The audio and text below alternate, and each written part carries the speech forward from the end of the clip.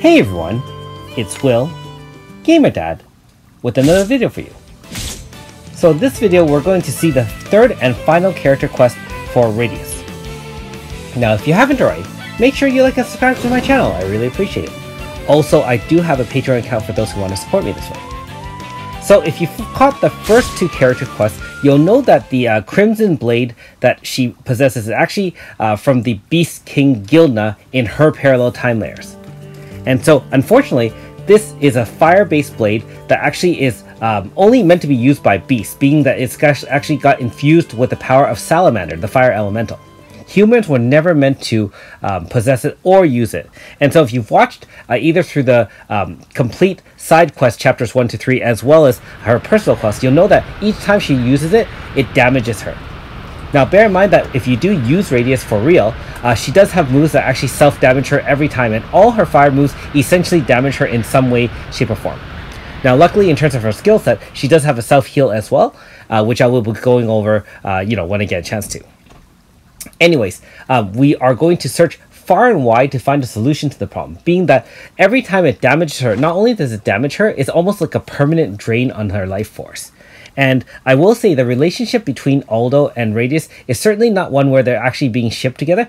This is one of the few uh, female-male relationships between these two uh, where I feel they're really more of a deep friendship rather than, you know, she's crushing on him or he's just oblivious to her like you know um, being interested in him so i actually really um, enjoy that and it's a lot more refreshing than all the girls chasing aldo the uh, main character anyways um, as they explore all over um, you know there comes some tribulations and you know near the end of the story i won't spoil it for you of course um, you know uh, almost some worrying areas as well but hopefully the end of the quest uh, reveals uh, something very different.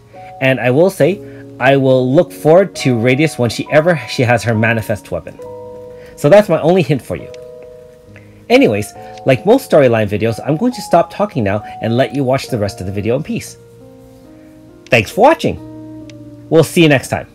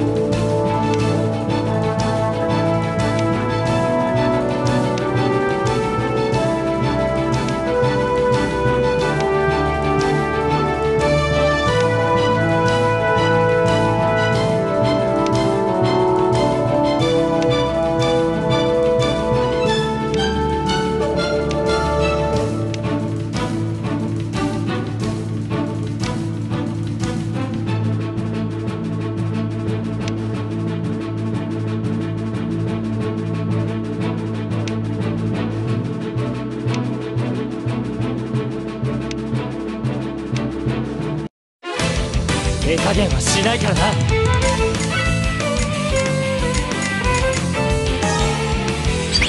この命愛とも生きようと。次もこの調子でいこう